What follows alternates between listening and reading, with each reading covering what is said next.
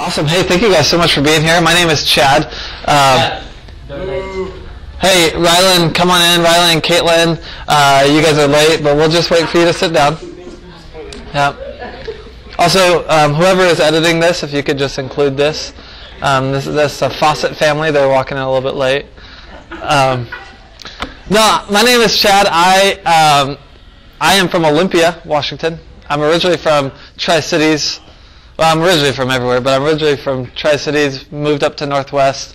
I worked at New Life Church in Renton as a kids associate associate kids guy there for a while. Um, helped with their Maple Valley campus, uh, and then I moved to Olympia, and I'm now at a church called Evergreen Christian Community.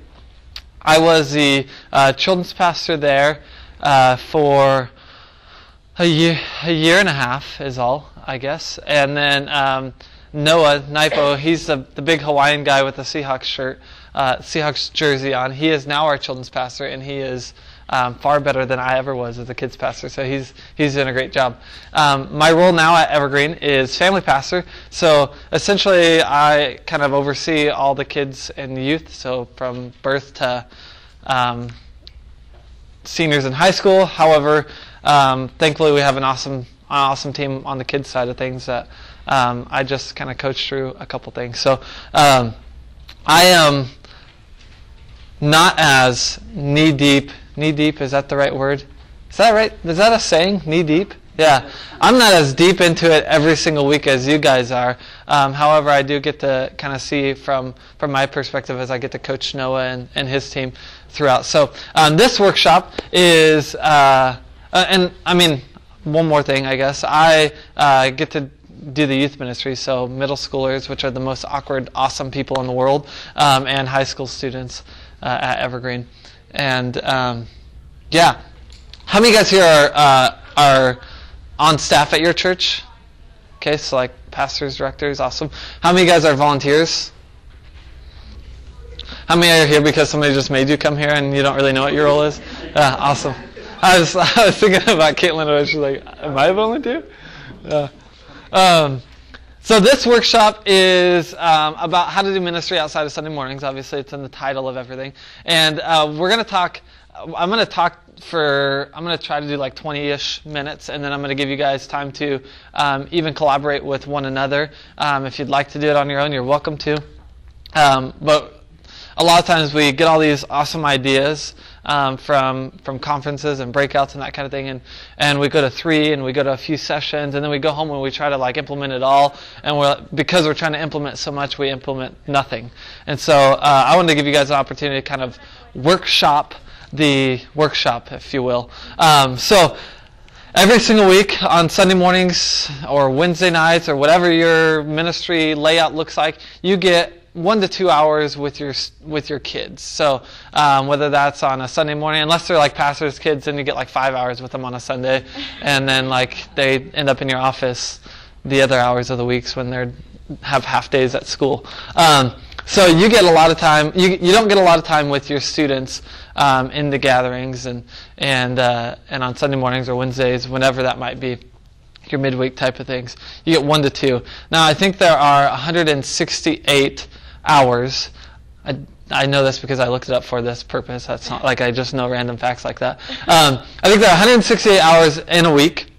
So that means there are 166 more hours that the kids are not with you. All right. So we're like, all right, we're going to change the spiritual formation of these kids, and we're going to change their lives, and we're going to do it in one two hundredth of the time that they are awake and alive. Um, if you take another 60 of those hours, is it 60-ish hours, um, they are going to be sleeping throughout, throughout the week. So there's about 100 hours in a week that they are awake and they are doing things besides kids ministry. Now, I had this like aha moment. Um, I, am newly married, which is awesome. Marriage is great. Uh, these guys are newly married. Any other people kind of newlywed-ish? No, cool, just me and Rylan and Caitlin. Um, and but right before the wedding, we were trying to like work extra and save a little bit, little bit extra money so we could do some more fun things on our honeymoon.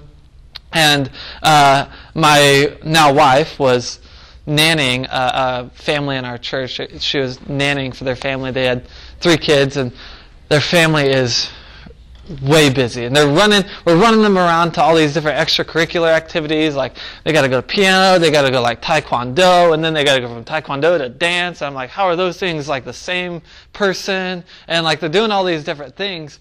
And then like you know on the schedule of things that they're they're they're doing one of the things is okay now get them to church and then pick them up from church at this time. And i had this like aha moment.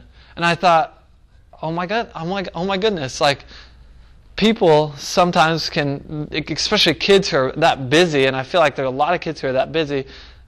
It's quite possible that they view church and their their kids ministry or their youth group, whatever that might be, and even adults, as another extracurricular activity, wow. right? So, yeah, Taekwondo it teaches you like honor and respect. Piano uh, it teaches you how to play piano. Probably teaches you some other awesome things. What's that? Patience. Yes, patience. Um, soccer it teaches you endurance church teaches you how to like love people and treat people nicely. And i'm thinking to myself like it's church is way more than an extracurricular activity. It's it's uh, it's a place where we come and yes we learn how to do those things but it's because of who we are that we come uh, together. And so how do we maximize that one to two hours so that we can train them up uh, for the other 100 uh, 66 hours in the week. Yes, thank you, whoever said that. Um,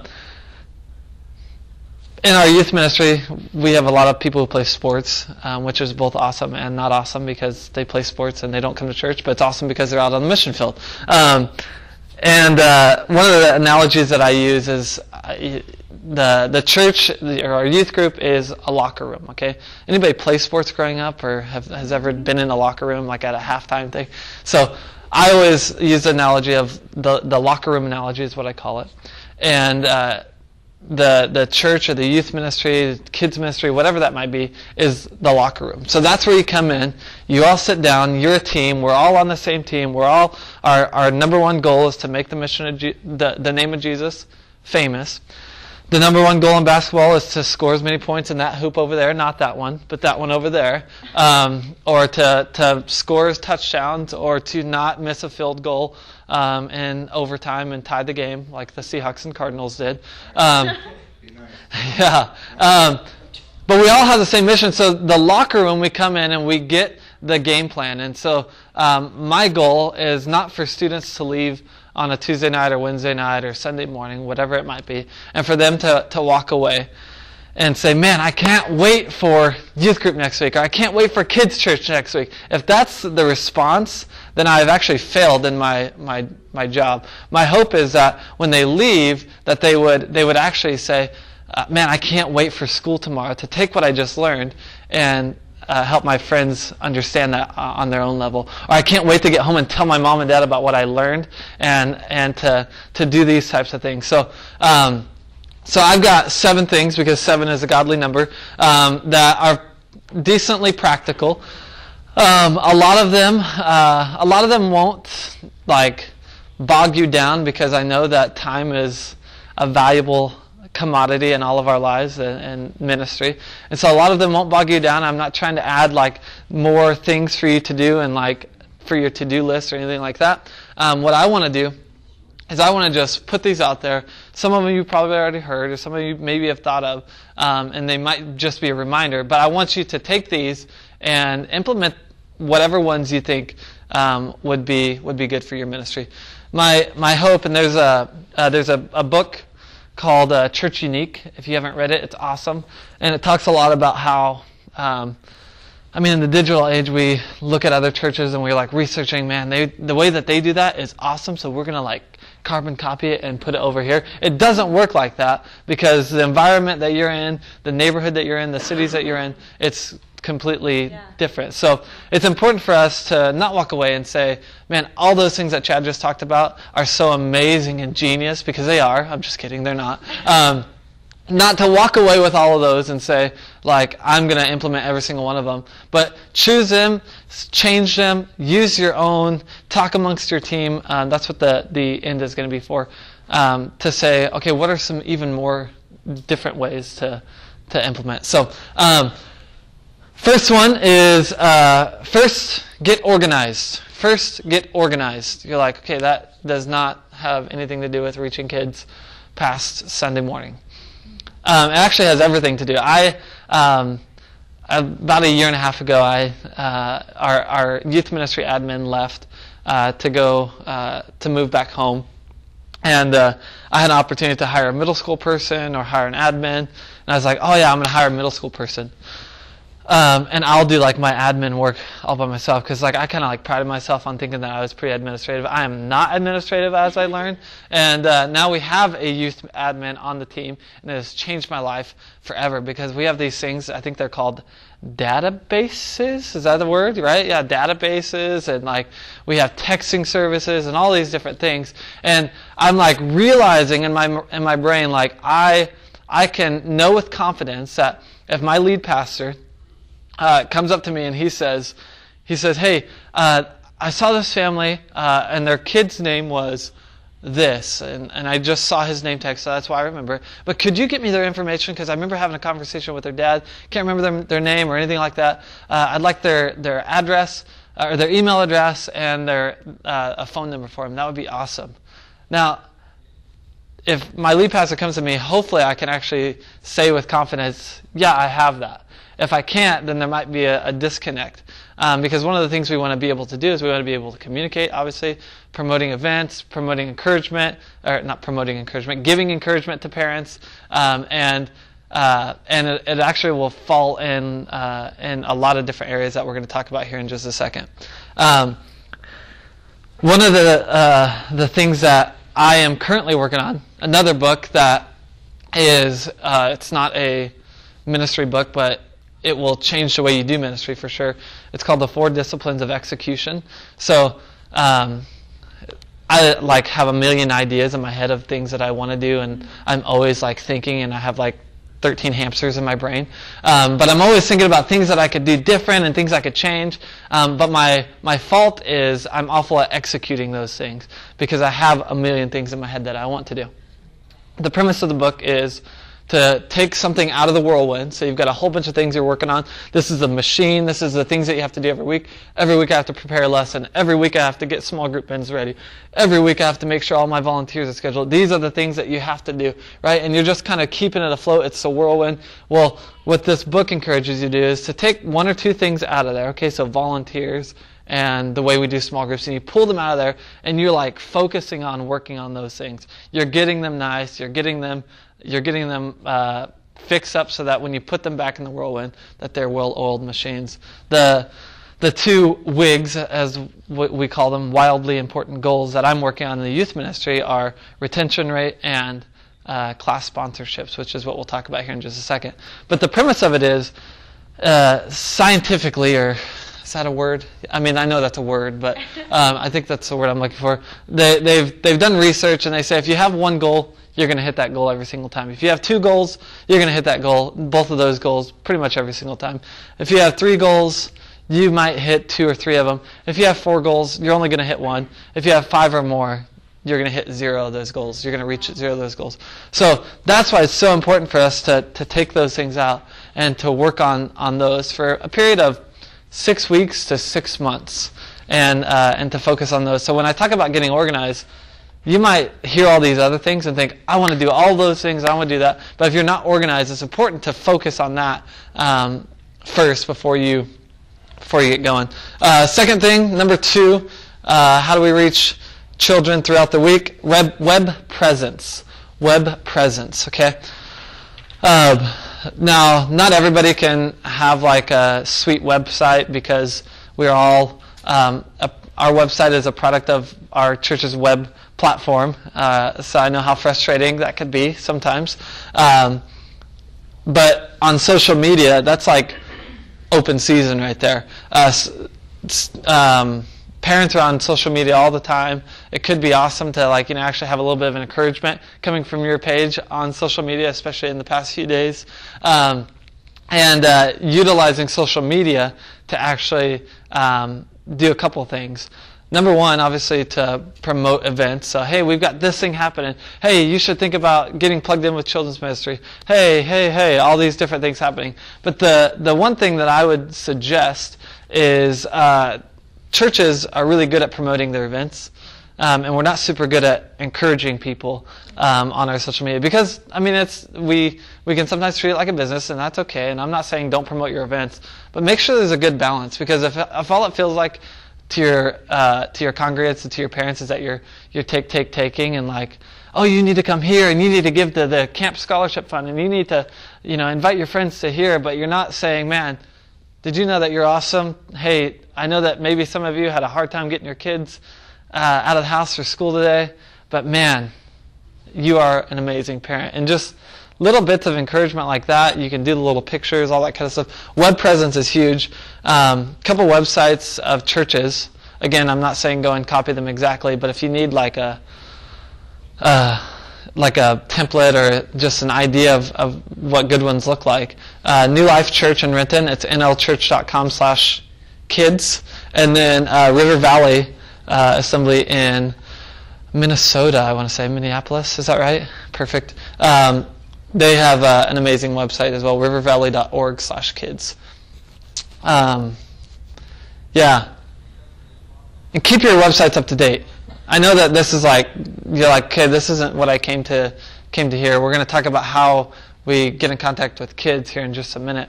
But the the websites, man, 90% of people will go to the website uh, for for more information. 90% of first-time guests will look at your kids page. If it's not up to date, man, it, it can be a, a, a huge hindrance to your growth. Um, number three, um, uh, I'm gonna I'm gonna say one more that's a pretty obvious thing, um, and then I'm gonna get into some maybe that are, are new to you. The the third one, and a lot of curriculums include these types of things, is give stu- students something to take home. Give them something to take home and bring back. Uh, Noah, our children's pastor, we do something on Wednesday nights called uh, Life Treks with the entire church. So we've got middle school gathering happening. We've got uh, adult classes happening, and he's got kid treks happening um, with the elementary age kids. When I was a kids pastor, I'm not gonna lie, I tried everything in my power to kill Wednesday nights. I hated it because it was another night of the week. I was trying to do school, and I just like wanted to go home and not have to do be there for a ministry that had like 10 kids there and give my give my night up for that.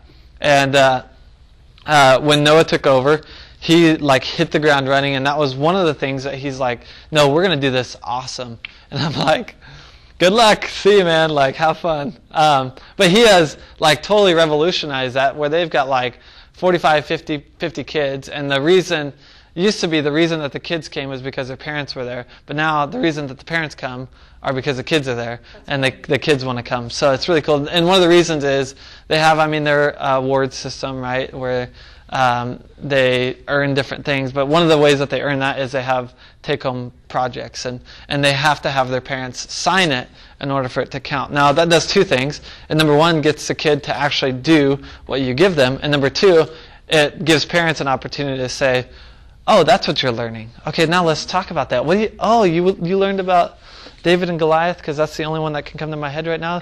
You learned about David and Goliath. Tell me about that story, right? And then all of a sudden, parents are actually pastoring the kids like we want them to because I don't need to stand in front of a, a room of children's pastors and help you to understand that, man, children's pastors, directors, volunteers, that, man, parents are the key to uh, the spiritual development of, of kids.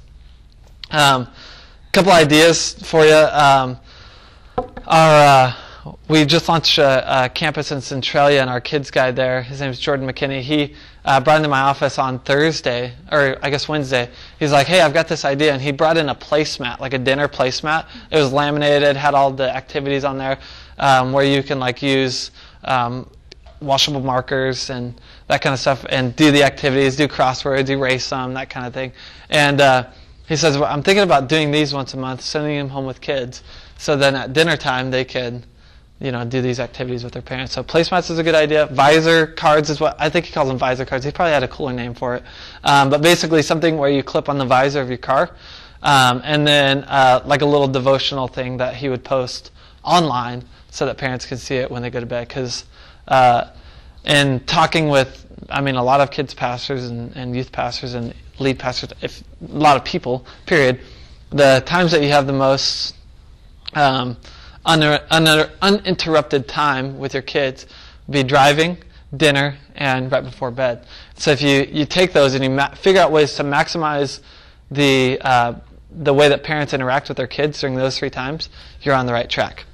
All right. Um, number four is uh, connecting children to other children. Connecting children to other children. Man, I heard that you love Pokemon.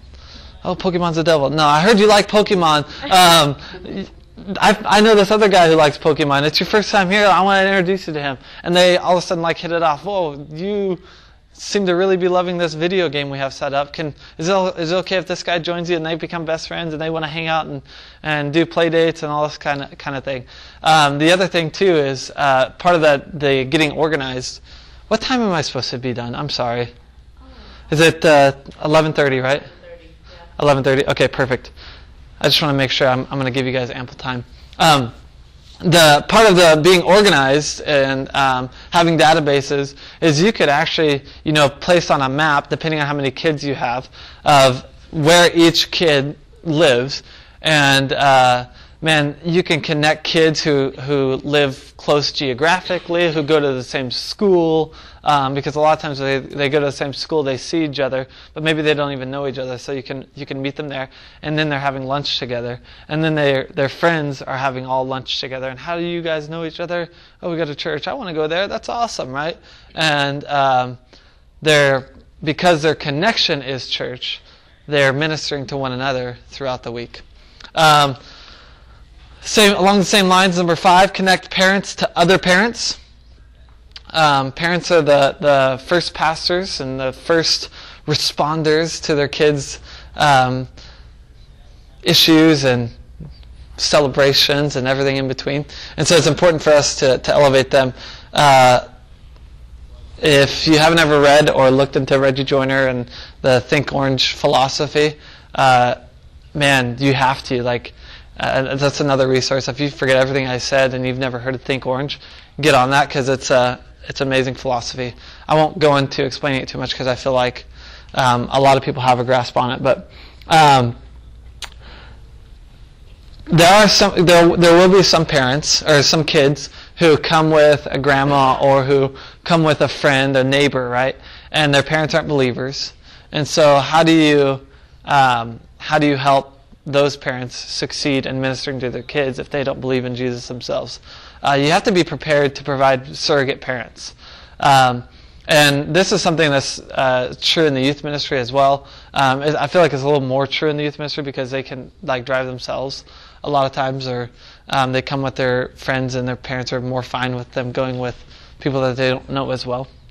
But being prepared to provide surrogate parents I don't have a way, like I don't have a magical like here's three ways to do that. I wish I did. If you do, please like let me know because I'd love to like try to implement it in, in our church. But um, providing surrogate parents is huge. Where man, you've got uh, a dad who is getting ready to like take their son out camping, and there's a, another kid who's like one of their friends.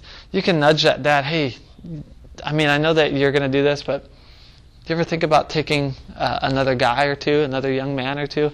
um, and providing those opportunities for, for kids to have surrogate parents.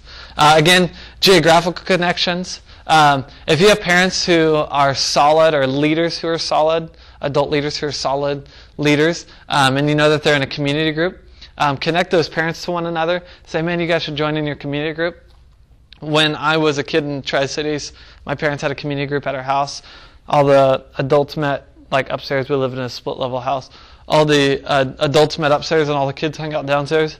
And uh, those are some of my closest relationships up to this day, um, where I got to hang out with these kids for, you know, an hour and a half every single week, and that, you know, there's no spiritual aspect to it. We're playing, we're probably playing Halo Combat Evolved or something, but um, we we gained our relationship. We we grew our relationship through that. Um, providing helps. So uh, you have a, again you have a data in ministry and you have a, uh, a single mom or you've got a family who is like in huge need of a of a hand uh, moving across town. Man if if that person goes and helps them that's awesome. So providing ways for parents to connect with one another.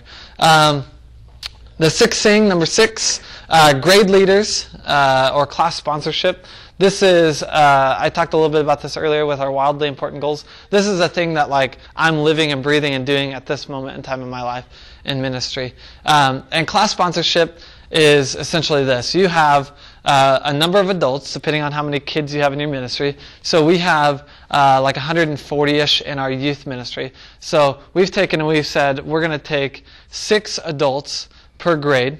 So six adults for sixth grade, six adults for seventh grade, so on and so forth, all the way up to uh, seniors in high school. And those six adults are going to be completely and wholly committed to the spiritual formation and the relational formation of those uh, of those uh, students in their grade. We have like I means like 15 to 25 students in each grade, um, and the reason is uh, if I wanted to go to a to a bunch of soccer games with for like my for the kids in my ministry or the students in our ministry. That's like an impossible task for me to try to do them all right? And i feel like i'm missing out on all of them. But if i say hey you six are and you're like in charge of this grade and they they like really really own that. And maybe you've got three gatherings so two can do this gathering two can do this gathering and two can do that gathering. Or you've got two gatherings you can kind of split it up where they're not even serving every single week or whatever. Um, man, could you imagine the like the relief that they would feel um, and the the love that they would they would have for those kids because they can actually focus on you know three to five kids. Um, and the way that we do is we have we have two couples so that's four people that are above the age of 30 and then we have two young adults who serve as well. With kids ministry you can even get the high schoolers involved. And even middle school if you're talking nursery or or um, early childhood. The when my when my pastor and I were talking about doing this, I was a little bit overwhelmed. Um, but the thing that like made it like okay, I, I actually can do this because I was talking with Eric Brennicky this morning about like kids ministry volunteers and how easy and totally awesome it is to like get people involved. And it's like you just like wave your hand and say, hey, I need volunteers, and everybody just runs to you, right? Is that how it works? no, I'm just kidding. So like, I mean, uh, and every, you guys are like, seriously, you have no idea. Uh, that was a joke. My sarcasm is a little dry. Um, but uh, you, you you think about like the need to recruit more volunteers, and you're like, okay, I'm out. Like I can't. I've already exhausted all my resources. I don't have any idea what to do to like make this any better. Um, but what he said to me, my lead pastor said to me, is, check this out. All you got to do is recruit one couple and say, hey, you have a chance to build your dream team. And then they they go out and they recruit their best friends and they recruit a couple younger people who they want to mentor and they want to love. Now obviously you want to approve that and, and make sure that their like gift set is is working together and that their um, their personalities are not going to be all the same because then kids might not relate with them. Um, but I have like I so that means I think let's see six times seven would be come on help me math what is it? 42. So if we had 6 times 7, that's, that's in our, our middle school and high school ministry, that means 42 new leaders. There's no way I'm going to be able to recruit that many people. But if I say, man, I'm going to recruit seven couples, yeah. okay, I can do that. I can do that. I can meet with a couple, uh, couple of couples, two couples every single week, and you know, half of them may say no, half of them may say yes, and by, by the end of the year, I'm going to have all of those grade leaders on on board, and then they're going to be recruiting their friends because who doesn't want to do ministry with the people you love, right? Like the the reason that you come to Fusion is um, because your husband makes you. Um, I'm just kidding. The reason that you come here is because you want to connect with people, you want to be re-energized, and you love doing what you do with the people you do it with, and that's what keeps people along, and that's what creates longevity. Um, I talk about you know my heart to I like grew up and I had geographical ADD because we moved a lot and like I just want to move all these different places and and even when I started at Evergreen like I was like okay I can I could be here three to five years and like I was thinking that's an eternity though and now I'm coming up on well I guess I just passed four years uh, being at Evergreen and I'm like I hope they don't fire me because I really love this place and like I want to be there. And the reason I want to be there and the reason I want to stay on board is not because it's easy. It's not because it's like the uh, everything is just already made and it's just I come to work and I just you know have coffee and lunch with people every day and it's just super easy. It's because of people there that I have relationship with and I love doing ministry with.